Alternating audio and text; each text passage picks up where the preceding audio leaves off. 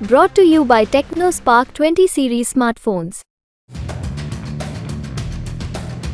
पूर्वांचल की सबसे चर्चित सीटों में शामिल गाजीपुर सीट पर भी बीजेपी ने अपने प्रत्याशी की घोषणा कर दी है ये सीट इसलिए चर्चित है क्योंकि यहाँ से मुख्तार अंसारी के भाई अफजाल अंसारी सपा के टिकट पर मैदान में है बीजेपी ने सीट पर उम्मीदवार उतार कर सबको चौंका दिया है। चर्चाएँ चल रही थी कि सीट से कृष्णानंद राय के बेटे पीयूष राय या फिर मनोज सिन्हा के घर से कोई उम्मीदवार हो सकता है।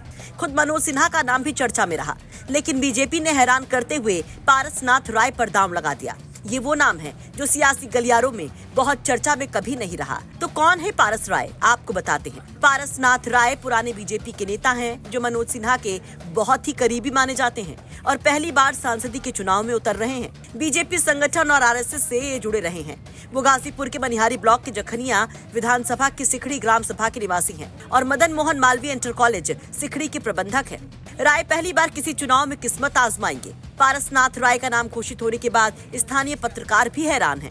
देखिए बीजेपी के नाम चौंकाने वाला दिया है। अभी तक पारसनाथ राय को हम लोगों ने देखा नहीं है। आज जब इनका नाम आया है लिस्ट में तो हम लोग जाने हैं कि पारसनाथ राय कौन है। बताया जा रहा है कि सिखड़ी के रहने वाले हैं और वो डिग्री कॉलेज, इंटर कॉलेज भी चलाते हैं। और भारतीय जनता पार्टी से पुराना नाता है, जुड़े हुए हैं, कार्यकर्ता हैं।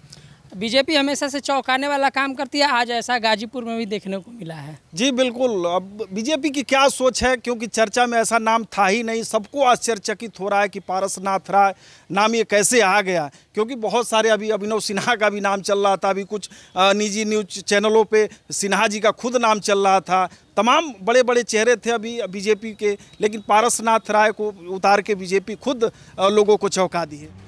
आपको बता दें कि अफजाल अंसारी यहाँ से मज़बूत उम्मीदवार हैं। वो 2019 में बसपा सपा गठबंधन में बसपा के चिन्ह पर चुनाव जीते थे। इस बार वो सपा के उम्मीदवार हैं। वहीं कहा जा रहा है कि मुख्तार की मौत के बाद गाजीपुर, मऊ, घोसी समेत कई सीटों पर असर पड़ा है। यहाँ के समीकरण काफ़ी बदले हैं। ऐसे में गाजीपुर में अफजाल अंसारी के सामने पारस नाथ राय को उम्मीदवार बनाने के फैसले को आप कैसे देखते हैं? क्या बीजेपी के पारस नाथ राय अफजाल के सामने मज़बूत खिलाड़ी होंगे? इस पर अपनी राय कमेंट बॉक्स में ज़रूर रखें।